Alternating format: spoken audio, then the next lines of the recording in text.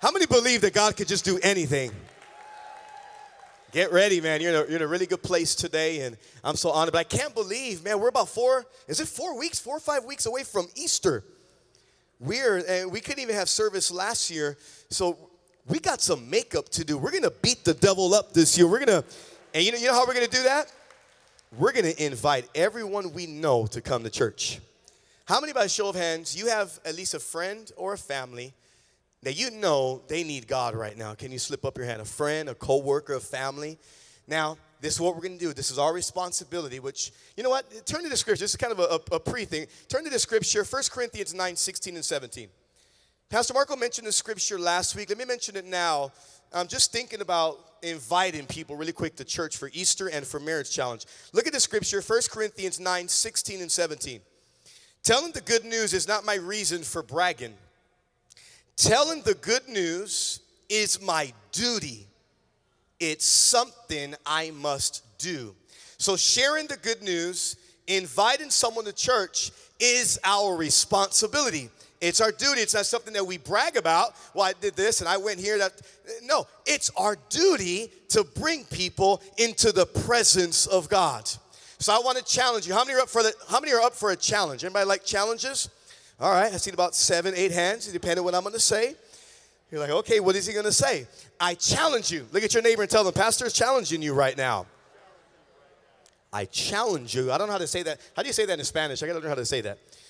I challenge you. I challenge you to write down 10 people that you're going to invite for Easter. How many are down for that challenge? How many think they can invite 10 people? How many know 10 people? Okay, you guys have to get out more. You have to get out a little more. Invite 10 people to the Easter service. It was just a really about I think four weeks away or so. Invite them. And this message, you know, we're in a we're in a series right now. And if you're taking notes, I want you to write this down. Um, again, the notes you guys are on. It's on the app. If you have your phone, you have a tablet with you. Right there, you can follow along with the teaching.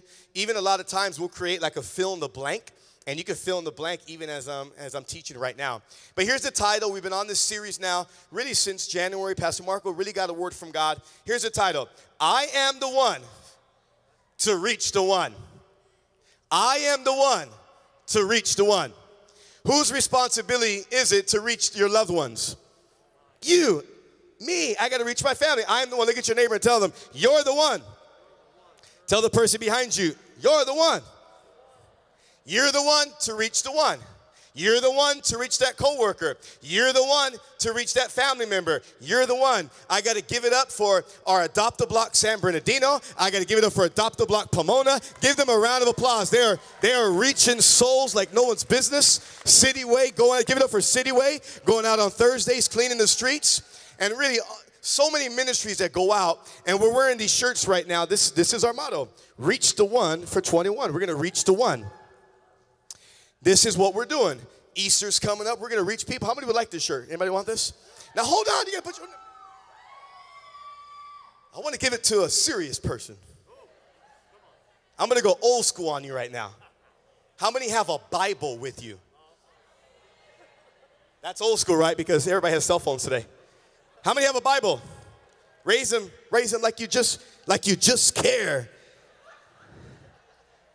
All right, all right, all right. I'm, I'm going to go old school now. I come from old school.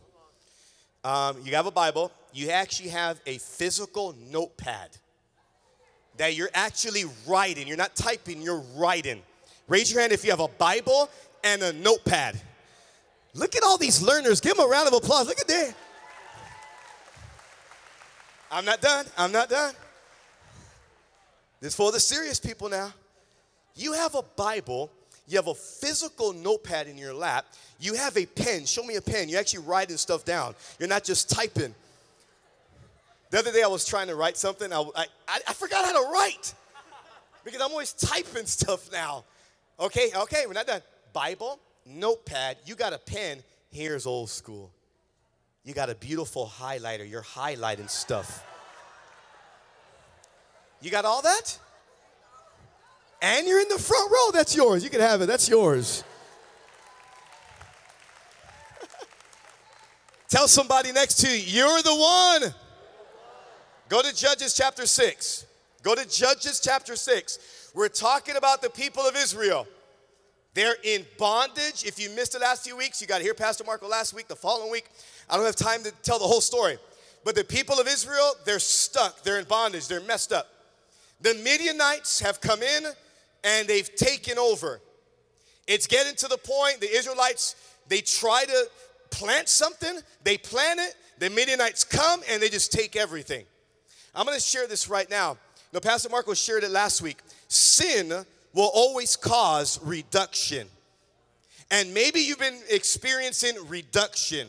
Maybe you've been doing things that's maybe not right, not according to the Bible. You're experiencing uh, some reduction. I have good news. All those who call for help, God will help you. So, whatever you're facing right now, God wants to help you. If you're stuck right now in a marriage and it's, it's not going well, God wants to help your marriage. You're in transition of a job, God wants to help you. In this scripture now, Judges chapter 6, verse 6, the people of Israel, like Pastor Marco said last week, they finally hit rock bottom. Has anybody ever hit rock bottom? And you've said, I'm done.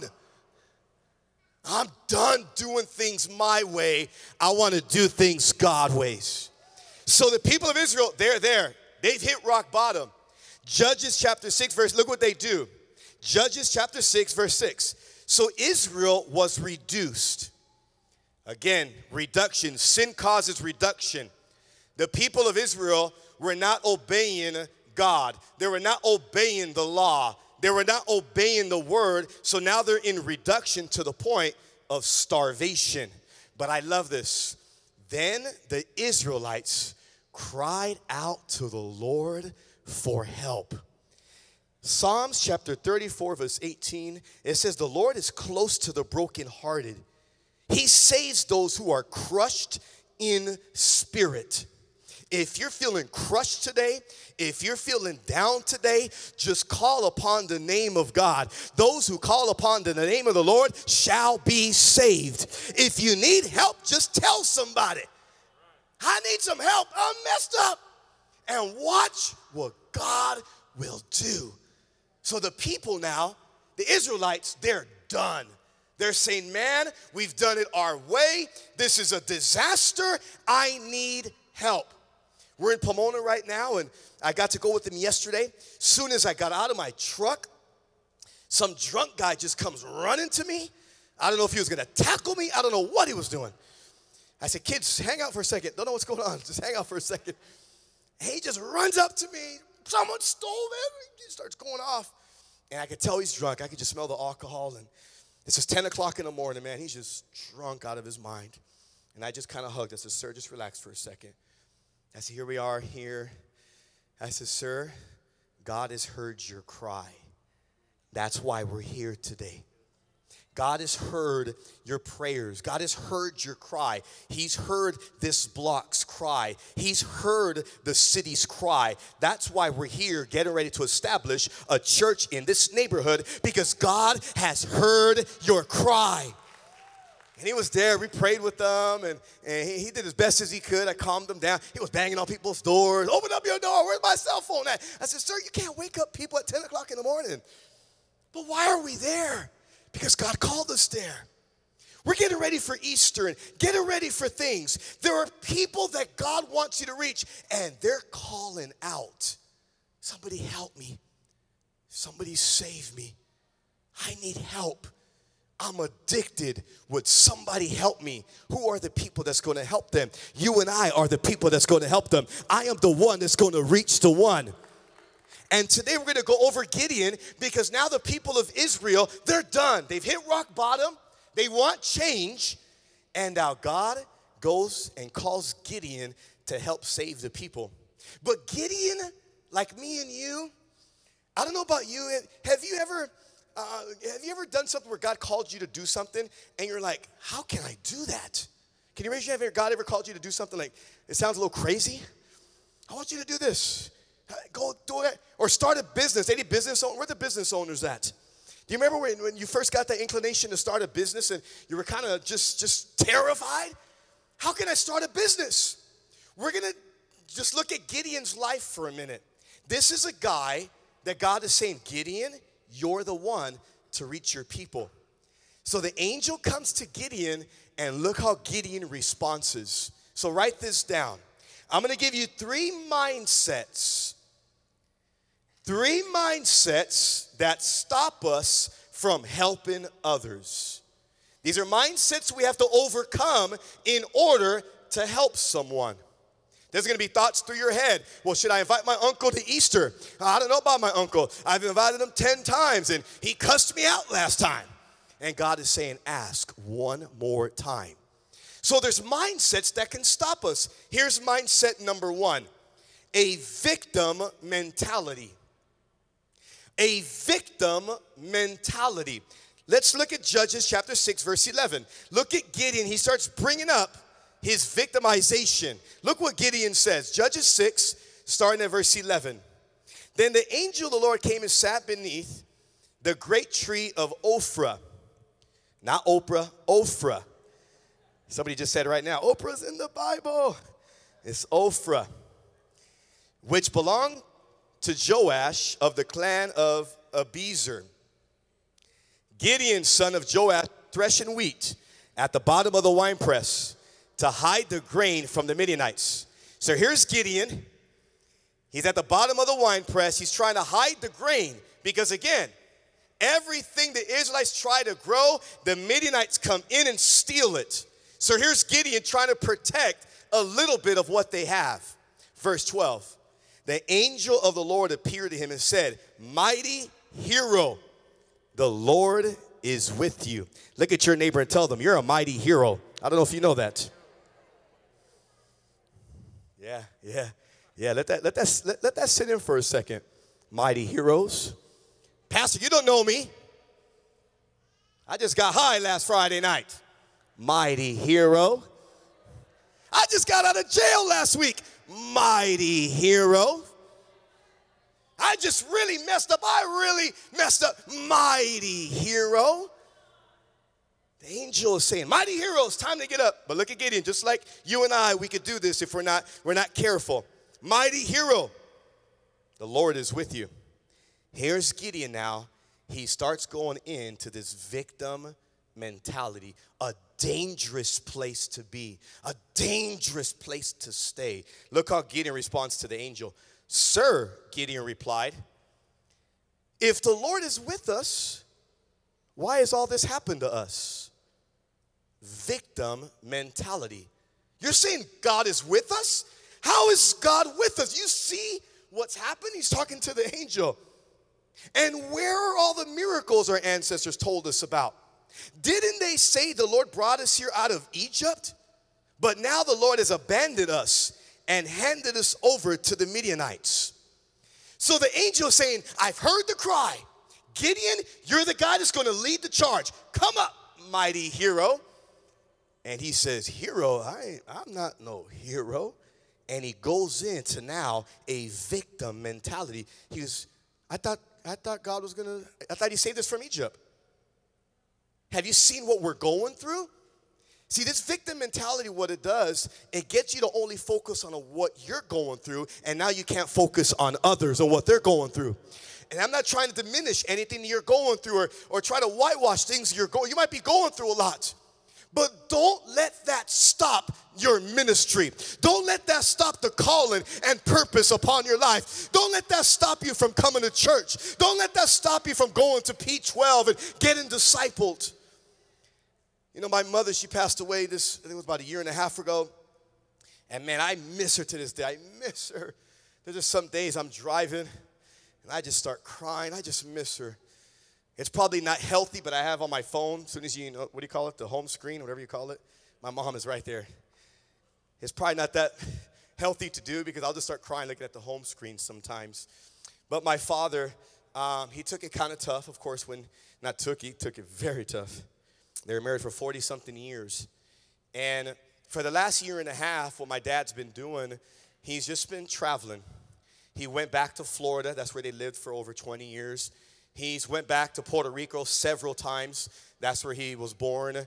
He was raised in St. Croix, the Virgin Islands. He's went there probably three or four times. So when I talked to him about, I don't know, maybe a week ago, he was in Florida. About seven, eight days, he was in Florida. That's where you at? I'm in Florida. I'm in a city called Wauchula. I said, man, what do you do? It's a tiny little town. What are you doing in Wauchula? He said, Rob, I'm just reaching souls. I said, okay, Dad. And we prayed. Man, amazing. God just using them. And I told him, you know, have you heard some of the teachings? He goes, he goes, no, I don't got those phones where I could listen to you guys. I don't got one of those, those phones. I said, Dad, I said, Marco, your son, he heard from God, and this year he's entitled Reach the One for 2021. And my dad told me, he goes, Man, that's what I do every day. I ask God, God, who do you want me to reach today? Can I tell you about a crazy story this week? He calls me Friday. Talk about reaching the one and just saying yes and saying, God, use me. I wonder what would happen if we woke up every day and you and I said, God, send me that one person I'm supposed to pray for. Send me that one person that I'm supposed to encourage. Send me that one person that's lost today that I can lead into salvation. And that's what my dad is doing every day.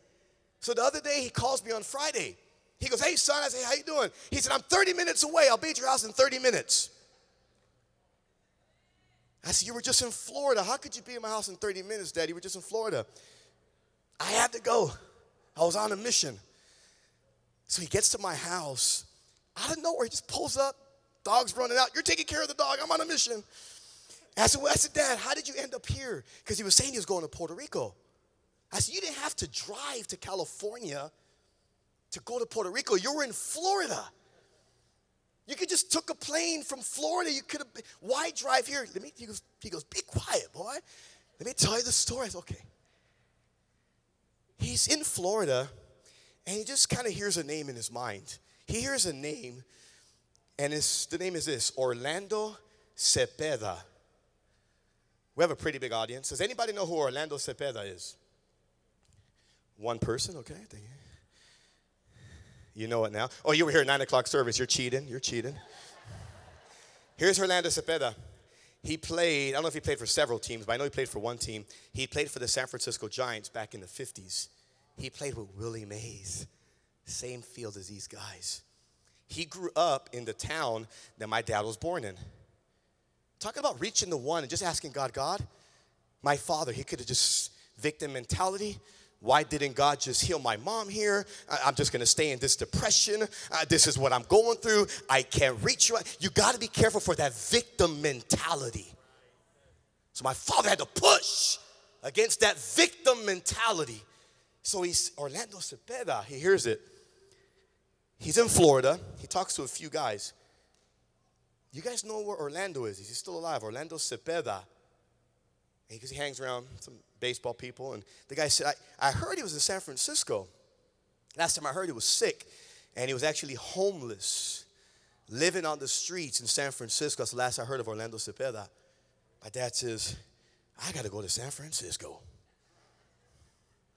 He hops in his car.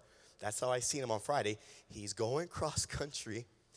He stops in New Mexico at a rest stop, just relaxing, chilling, sleeping he looks out the window and he sees this lady driving this big old diesel truck. And she's backing that thing up like no one's business. She just back. And my dad's looking because she gets out of the truck and she's this tiny little thing. My dad said she was so tiny. I'm like, how is she driving that truck? My dad's, I gotta go out there and talk to this lady. She's blowing my mind. He goes out to talk to this lady. He goes, hey, I just, you just, you're blowing my mind.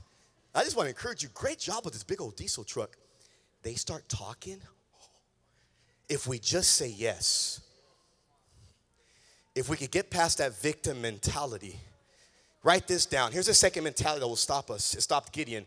It's a I can't mentality. Write that down. First mentality is victim. It'll stop you every time. It'll stop you from ministry, it'll stop you from family, stop you from relationships, reaching the one. Next one is a I can't mentality. I can't do it. I can't go there. Who am I? We'll read the scripture in a moment. Let me finish this story. He's talking to this lady, and he goes, What are you doing? He's on my way to San Francisco. I, I, I just had to stop. God me, I have to go see Orlando Cepeda. She goes, What did you say? And she starts crying. She goes, Who are you? Did you follow my truck here? Who are you? He goes, That's my family. Orlando just died about a year ago. He died out in San Francisco. He died. He goes, You're related to her? You're related? He goes, Yeah. And then some young adult pops out of the truck. He goes, That's Orlando's cousin right there. I mean, Orlando's grandson. And, you, and he tells lady, they're just having this God moment. It seems like something to read in the Bible. It's like so miraculous. They start crying. And my dad says, Well, I guess I'm not here for Orlando. He's, he's, he's gone. I must be here for you two.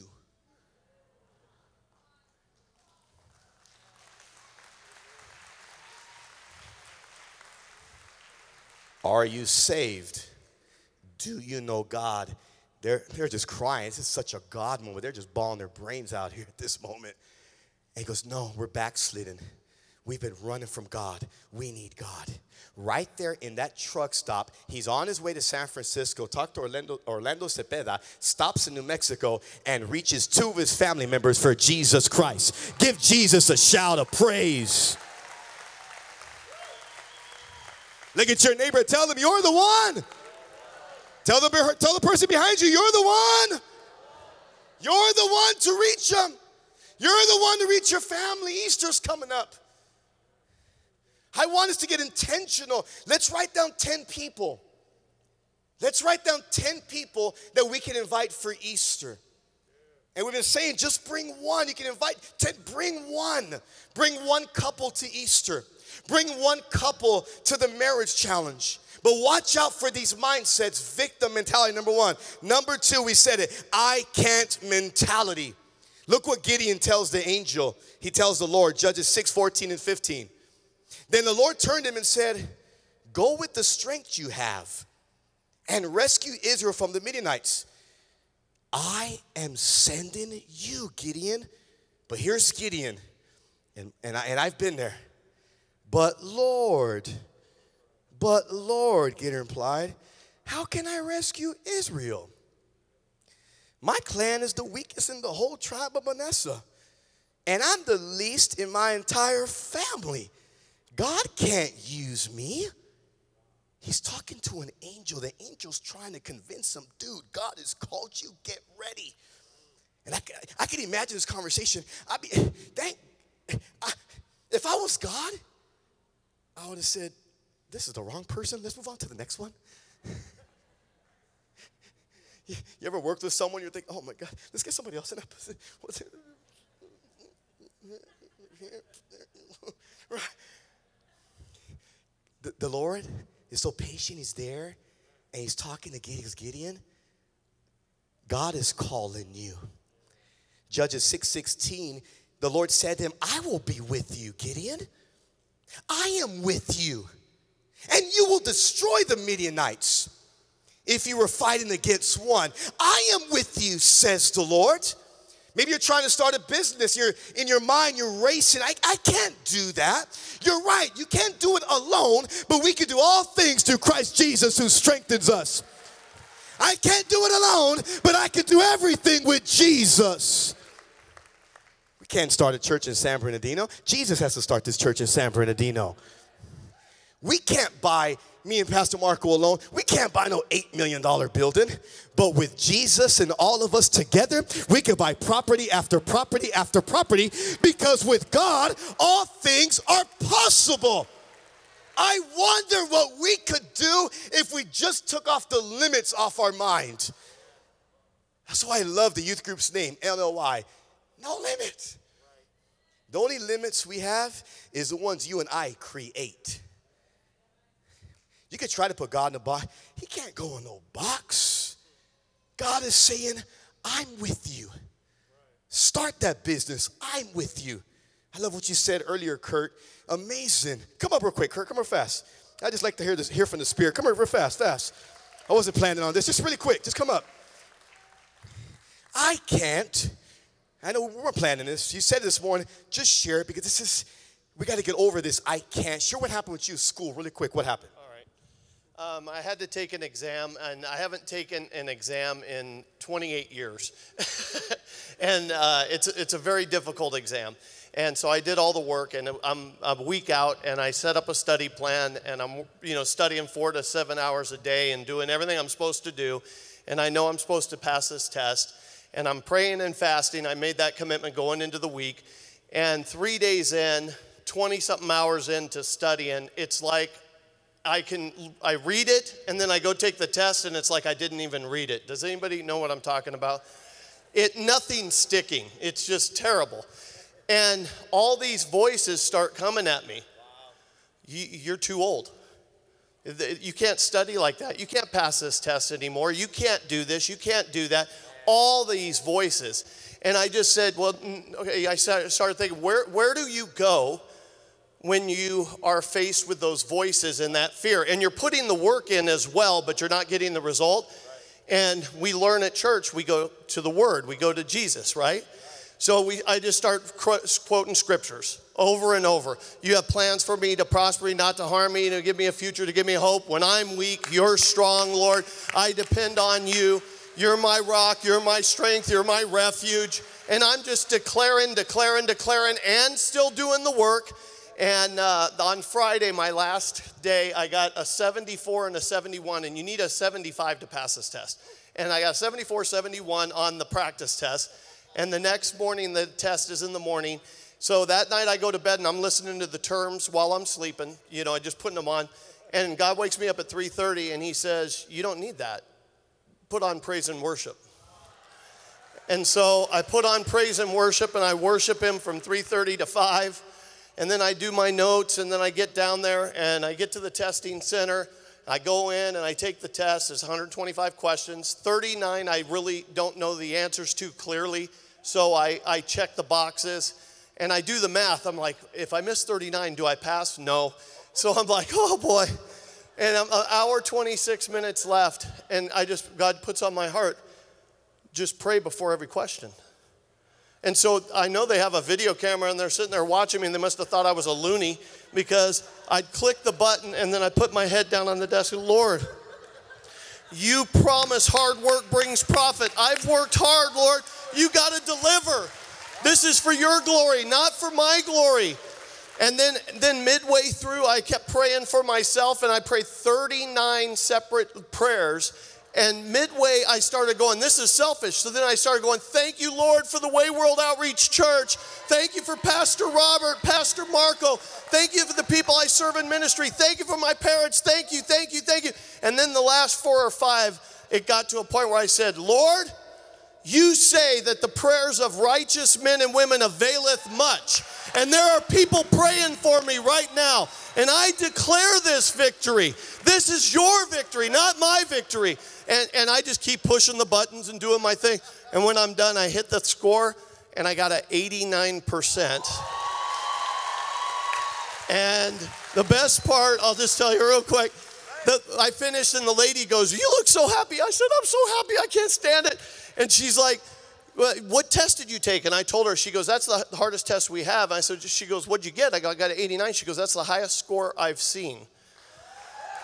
And so I used that as an opportunity to reach the one. And I said, let me tell you why that was the highest score you've seen. And I started to give Jesus all the praise. I got her name and number and gave her a thing for Easter service. And she went, I said, Would you take a picture of me for my wife? And she went outside and took a picture. That's more than you need. But God is good, man. If you, if you believe God could do anything, give God a big shout of praise. You're not too old to take no test with God. You have to get past the victim mentality. Okay? You're going through stuff. Gideon, the people of Israel, a mess, a disaster. Don't let what you're going through now stop you. You're going through a tragedy. Don't let it stop you. Say, God, I'm going through this, but I'm not going to allow the victim mentality to settle in. I'm moving forward. Secondly, I can I can with Jesus. I can with God. And only that, you'll have the highest score this building has ever seen because of God. And here's number three These are mindsets, again, that'll stop you from reaching the one. They'll stop you in so many other things in life, but we know our main topic today is talking about reaching the one. Here's a third one be careful a doubtful mindset. A doubtful mind. You start to doubt. You start to double think too much stuff. Well, I don't know. Is God really doing this?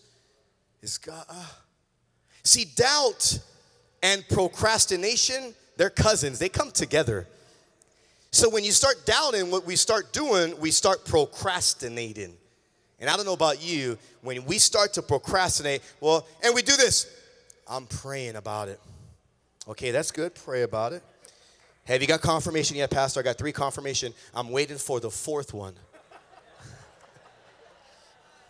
I'm waiting for that, that fourth one. Did you get, I got, Pastor, you know, God's number is seven, so I'm waiting for seven. Once God confirms it, run a 100 miles per hour.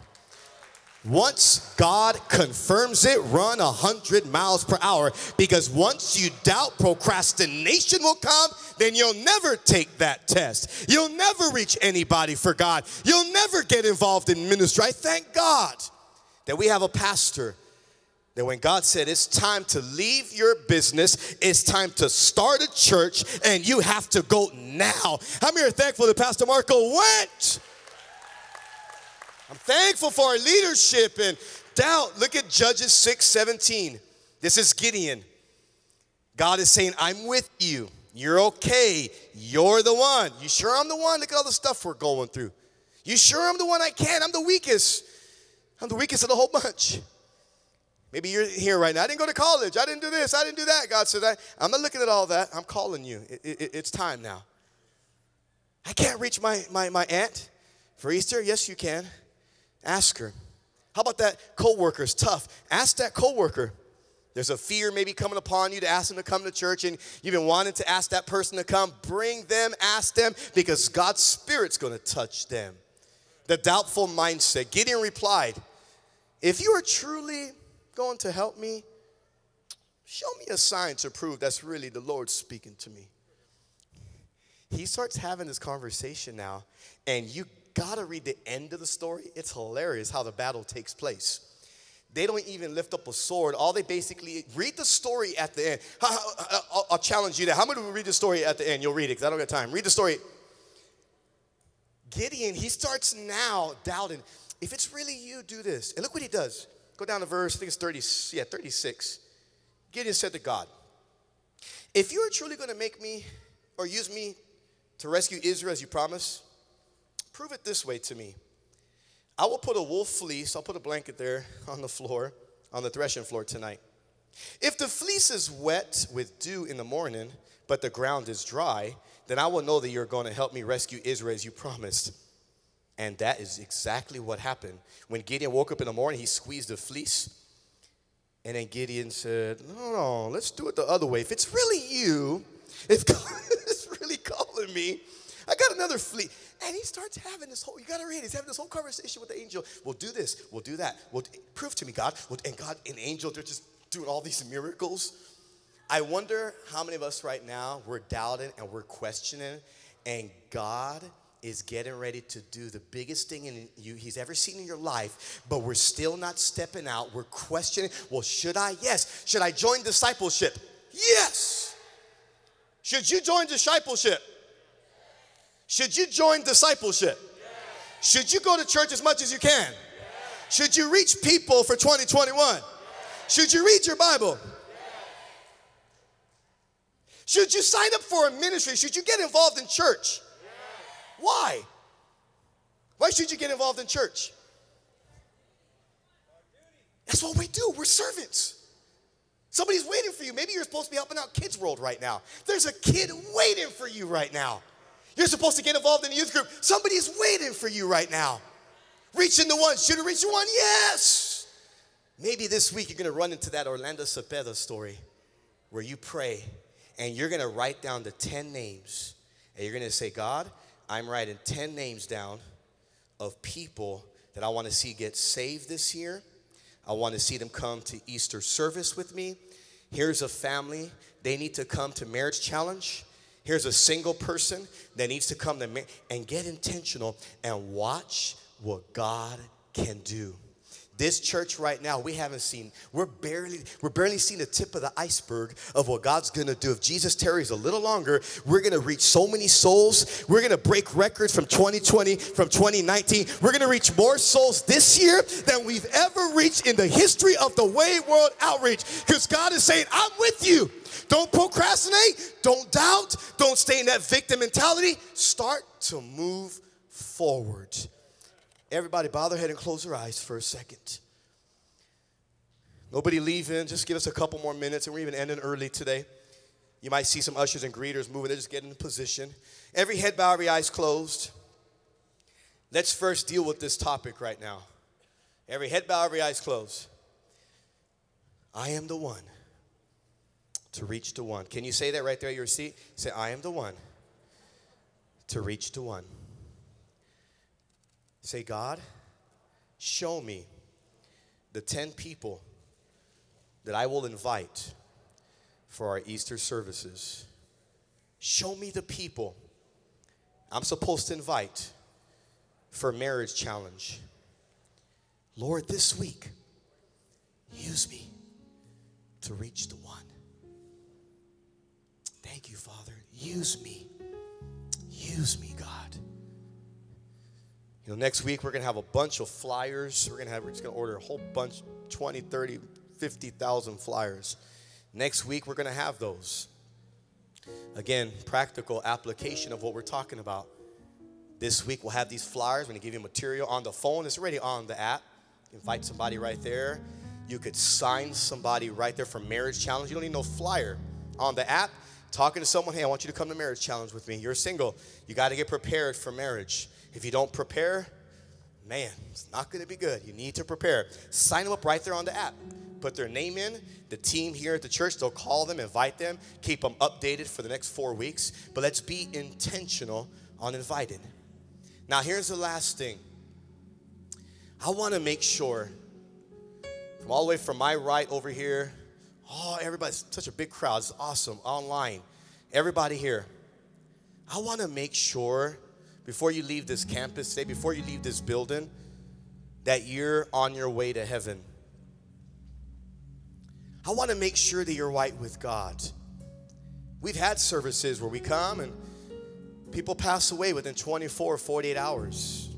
With a crowd this size and the influence, all the people that we know now, it's every week almost now. Every couple weeks, someone passes. We're doing, and we did like four funerals the last three weeks past because of the association. All of us know people. We have friends and family. I'm doing funerals for people's co-workers. Don't even know who they are. Doing funerals because it's just association. It's just who we know. But let me ask you a question. You're online. Let me ask you a question. You're watching at home. Maybe you're in a truck right now. You're driving, or you pulled over and God's talking to you. Let me ask you this question. If you were to die today, where are you going to spend eternity? Where are you going? Are you going to heaven? It's a pastor, man, I, I want to think that I'm going. I don't know. You might be saying, I'm not right with God. It's time for me today. I need to sell out for God. Or maybe you say, Pastor, I used to go to church, I used to get involved. I had this passion before, but I've lost it. I've lost the passion. And I just want to come back to God. I want to make things straight before I leave today. Man, I want God to forgive me of all my sins. Friends, family, how do you get to heaven? There's only one way. You have to receive Jesus as your Savior. How do we get to heaven? You gotta accept, you gotta put your faith in Jesus.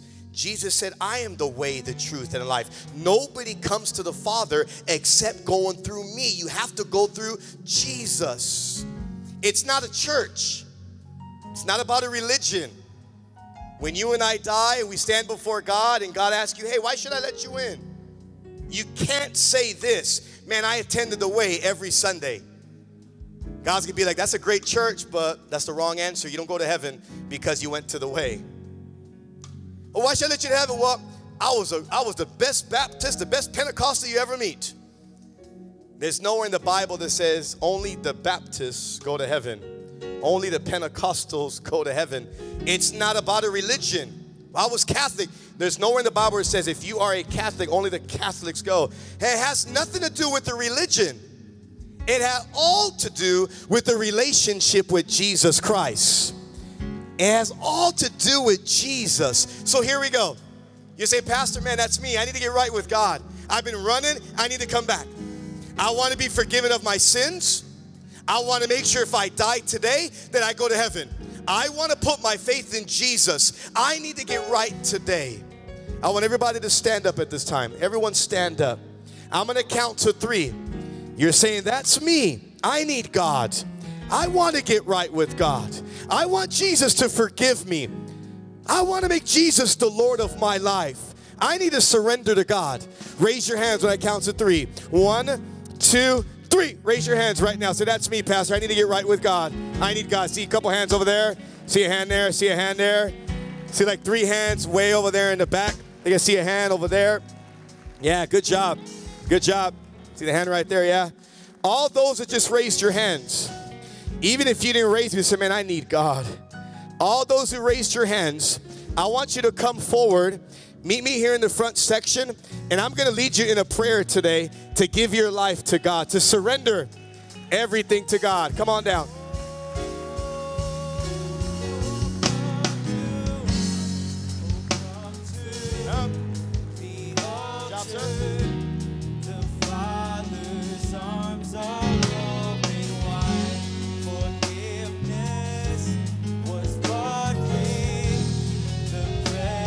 Come, come. Come, come, give your life to God. Come. Come.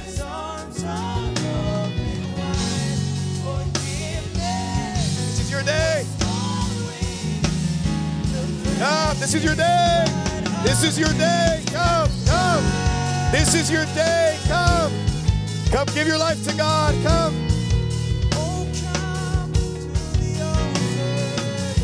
Ah, they're still coming, church. Give me a round of applause. Come, come. Wow. Come. I'm going to count really quick. We got one, got two, three, four, five, six, seven. You're coming down, sir? Yeah, come on down. Give me a round of applause. We got eight, we got nine, 10, 11, 12, 13, 14. Good job.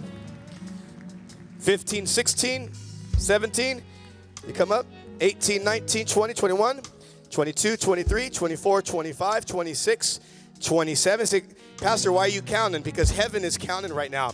They're recording all the names right now, pretty in a second, in the Lamb's Book of Life. That was 27. We got two more come down 28, 29, 30, 31, 32, 33, 34. What's up, little man? 35. Give God a round of applause. 35.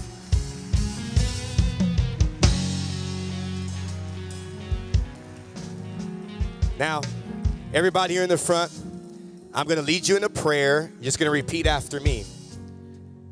All those who confess Jesus as Lord, you're saved. Everyone that believes in his heart that he died and God raised him from the dead, you're saved. That's what we're going to do. We're going to declare that. I believe Jesus died. I need forgiveness. As soon as you say that prayer, you're saved. Your name gets recorded in what's called the Lamb's Book of Life. After we're done praying, there should be somebody maybe next to you in front of you. They're just going to exchange info, pray for you, and then let you know what your next step is. Your next step is starting at the way. That's our classes here to make you strong and helping your faith with God. Starting at the way. Maybe you're at your seats, you haven't taken starting. Sign up. How do I sign up? Go on the app and just sign up for start, and we'll get you into classes to get you going. Every head bow, every eyes closed. This is beautiful. And maybe you're at your seat right now. You're saying, "Man, I should have went up there. What am I doing?" It's okay. Just say that prayer right there at your seat. You're gonna get saved. You're watching this online. Don't miss this moment. Don't miss this moment. You're at work right now. You're kind of listening, just being at work. Don't miss this moment. Repeat this prayer. God will touch you right there in that workplace. He'll touch you right there in that living room, that kitchen, that bedroom, that sick bed, that hospital. He'll touch you right now. Every head bow, every eyes closed. Say, Jesus, I ask forgiveness of all my sins. I repent of all the wrong that I've done. Jesus, I believe that you came to this earth and you died on the cross so I can have eternal life. Jesus, come into my heart, become my Lord and Savior. From this day forward, I am a follower, I am a disciple of Jesus Christ. Holy Spirit, fill me so I can live for you. And God, set me free from all my bad habits, all my addictions. Set me free today. I need help. I am saved. In Jesus' name I pray. Amen.